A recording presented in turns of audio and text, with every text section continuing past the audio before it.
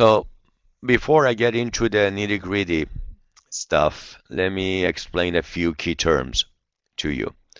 Hansei means reflection, but with the intention of learning something and improving the system.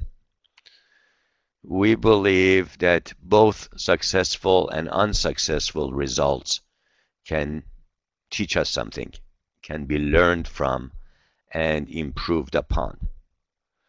We learn that no problem is a problem. If you think you have no problem, that is the biggest problem you can have because there's always areas that you can improve.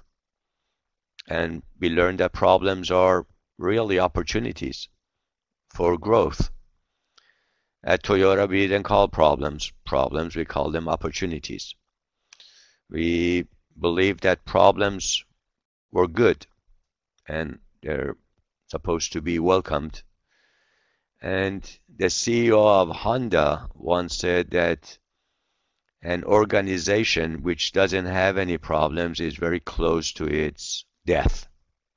Is strong language, but very true. If one day you go to work and you think all your problems are solved, you are very close to the end. And problem solving is the main reason why anybody is on any payroll. If you look at it more objectively, everything else other than problem solving that we do on day-to-day -day basis can be done by anybody else who can be trained for a few hours. It is only our problem solving ability, approach, and systematic way that we are doing it, which is unique and keeps us on the payroll. A predetermined response to changes was part of the change point management. So we would uh, brainstorm the many changes which could jeopardize our customer, and then we will devise a predetermined response to every change beforehand. A systematic approach to consider factors that may introduce potential changes to the process and thereby to the desired result. That's what change point management is. And we had change point management follow-up sheets that we devised and made it available to the team members and trained them on. So as soon as they would see a change within the process, they would go and pull the right change point management follow-up sheet and observe it from item one all the way to end of the uh, sheet. So it was a very systematic approach. Then the JKK approach, which literally means quality with ownership. The first character means self or own. The second uh, character means process. And the last character means conclusion or completion or comprehension. Own your process completely or quality with ownership basically means that every process is like a mom and pop organization and the team members working within that process should be feel should be feeling responsible for the outcome whatever that outcome is at all times.